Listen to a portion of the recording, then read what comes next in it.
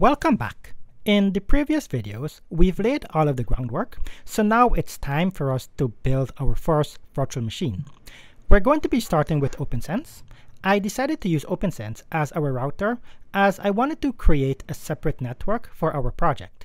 I didn't want to use IP addresses on my main network as certain IP address that I would like to use may already be assigned to another device within my network. So OPNsense is perfect for this situation as we can use it for our router firewall and we can also create other networks that we could use for other situations. Now, before we start, let's create some tasks for ourselves to ensure that we're on the right track. And here's what I would like us to accomplish. First, we want to create a new virtual machine in VirtualBox. We will assign two network adapters to our virtual machine. Ensure the first adapter is assigned to VirtualBox host only Ethernet adapter number 2. Ensure the second adapter is assigned to the bridge network. Assign a static IP address for the LAN network, which will be 172.20.20.254, and that will be on a slash 24 network. We'll leave the WAN adapter to obtain an IP address through DHCP. And lastly, we'll enable the DHCP service on the LAN network with the IP range 172.20.20.10 to 172.20.20.100. Before we dive in and start to create our first virtual machine, let's refresh our minds with how our network is currently set up. I'll open up my draw.io diagram, and if you've closed this, you can reopen it by going back to the draw.io website click Open Existing Diagram, then find your Windows infrastructure diagram file and open it. We can see our OPNsense router has two network connections. We have a WAN connection and a LAN connection. For the WAN connection, the IP address will be obtained through DHCP, and our network adapter for our WAN connection will be EM1, and our LAN connection has the IP address of 172 192.20.20.254, and that's on a slash 24 network. And our network adapter will be EM0. Going by the numbers of the network adapters, we'll need to ensure that our first network adapter is our LAN connection, which is EM0. And our WAN connection will have the adapter EM1. OPNsense will always assign your first network adapter to be your LAN connection, so keep that in mind. Next, back inside of VirtualBox, we'll go back to network, and remember we created a new network adapter called VirtualBox host only Ethernet adapter number 2, and it has the IP address 172.20.20.1. We need to ensure that our LAN connection for OPNsense will be on this network. We'll click on the three lines and return to the welcome section. Then we'll click new to create a new virtual machine. We'll name our virtual machine OPNsense-VM. My virtual machine will be stored in the vbox-storage. I'll click on the drop-down next to ISO image, then click Other. Navigate to the Downloads folder, then select the OPNsense ISO file and open it. I'll change the type to be BSD, since OPNsense is based on the FreeBSD operating system. Then notice the subtype and version gets automatically filled in. For unattended install, all of the options are currently grayed out because this feature is mostly used with Windows-based operating systems to help automate certain tasks. For hardware, I'll give our VM 2 GB of RAM or 2048 megabytes. I'll bump up the processor count to be 2 for hard drive space, I'll increase this to be 20 gigabytes, and notice I have the option here to pre-allocate full size, which will block off 20 gigabytes on your hard drive that will be used by OPNsense. I'll leave this unchecked as I don't want to commit the space. I'll click Finish to complete my virtual machine creation. And before I start my virtual machine, I will need to modify the network adapters. So I'll click on Settings,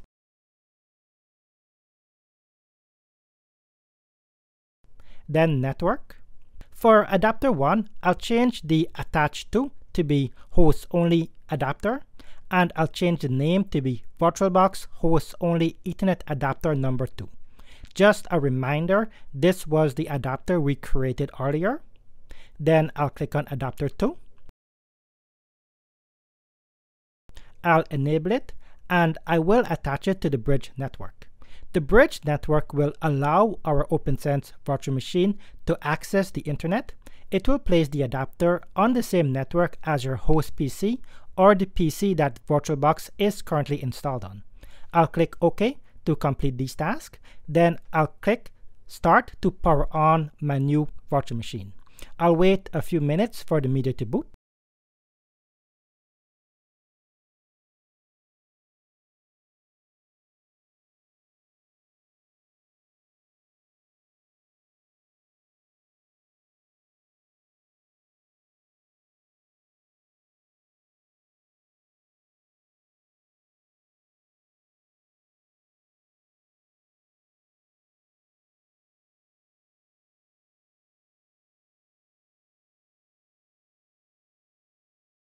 The boot process is completed and now we can proceed with the installation.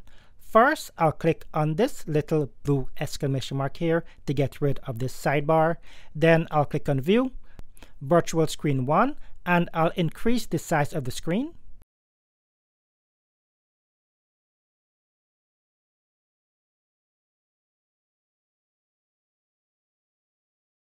Notice when I click inside of the virtual machine window, I'll get this pop-up box that's basically telling me that when I click inside of a virtual machine window, the virtual machine will take control of my mouse and keyboard.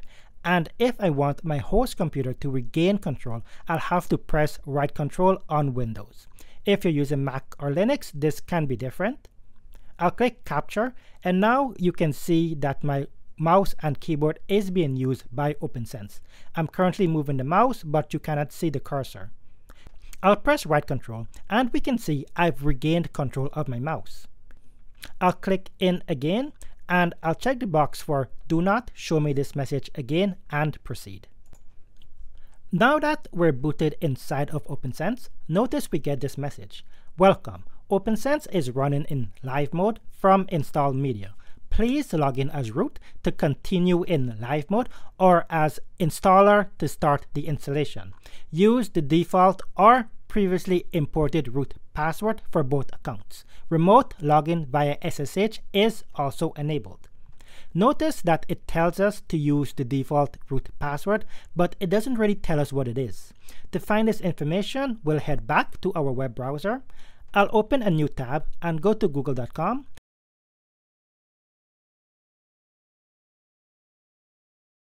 then search for OPNsense default password. And we can see Google is telling us that the default password is OPNsense. So we will use that. Back inside of my virtual machine window, we'll enter the username installer. I'll press enter, then I'll enter the password OPNsense. If you're typing and you don't see any characters being displayed, don't worry, this is a feature of Unix and Linux-based operating systems.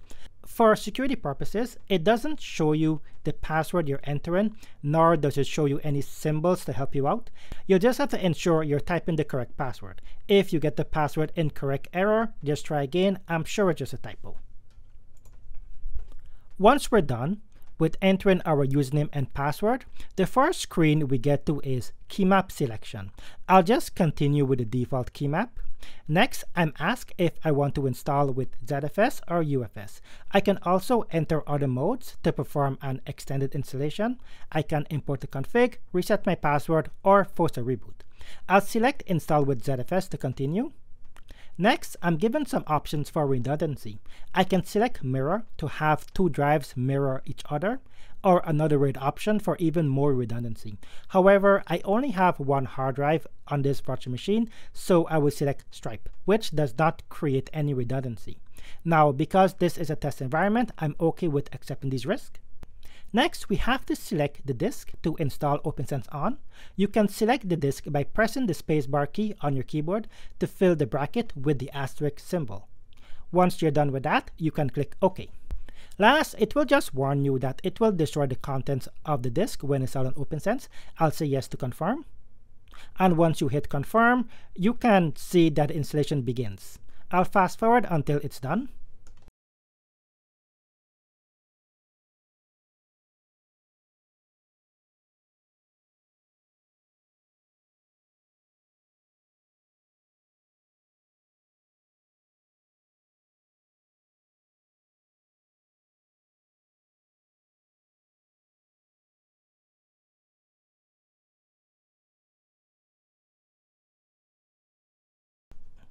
Once the install is completed, we get two options to either change our password or complete the install.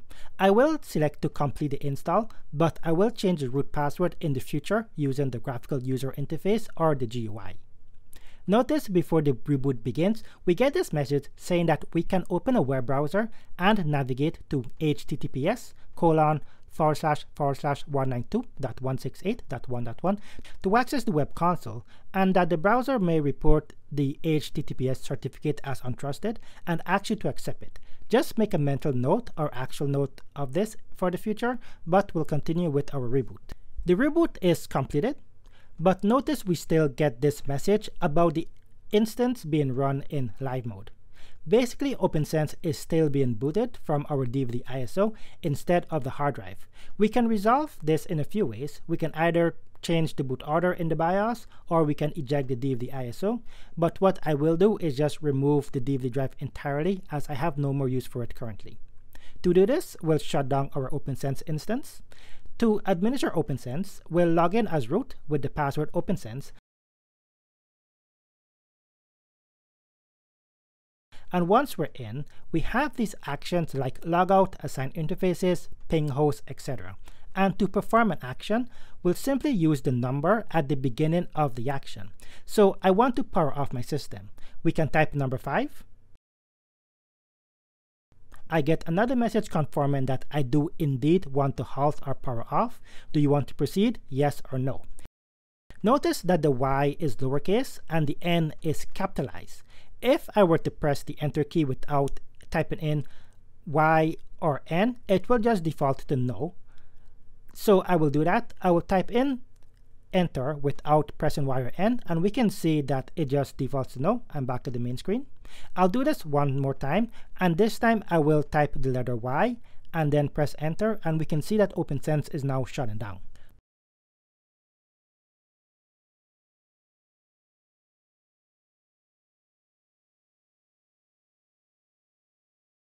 Once OPNsense is completely turned off, I'll click on Settings, then I'll go to Storage, and I'll just remove the OPNsense disk drive. And then I'll click OK, and I'll start my OPNsense virtual machine once again.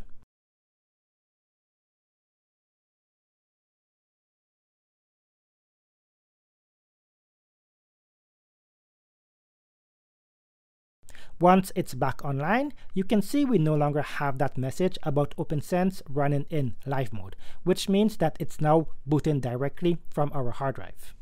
Just a quick glance at this screen, you can see that we have our LAN connection assigned to EM0 with the IP address 192.168.1.1 and this is the default IP network that OPNsense assigns to your LAN connection and our WAN connection is assigned to EM1 with the IP address 10.10.10.60/24. This IP was assigned automatically to my WAN connection through my DHCP server on my home network. Moving on, we can now assign our preferred IP address to our LAN connection. I'll log in using root as the username, and the password will be OPNsense.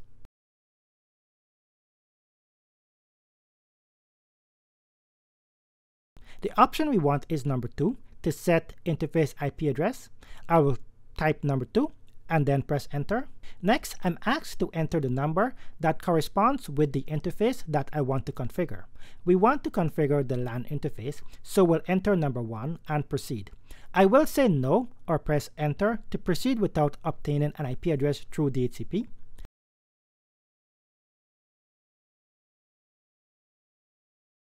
For the new LAN IPv4 address, we'll enter 172.20.20.254 and once again, just a reminder, this IP address corresponds with what we did inside of our network diagram. Our subnet mask is a slash 24, which is 255.255.255.0. Slash 24 is called CIDR notation, and 255.255.255 is called dotted decimal notation. They both represent the same value, just in different forms. We'll enter 24 and proceed. Next, we're asked about a LAN IPv4 gateway address. Since this is for our LAN network, we can just proceed. I'll say yes to configure IPv6 LAN interface via WAN tracking. I'll say yes to enable a DHCP server on the LAN network. The start of the range will be 172.20.20.10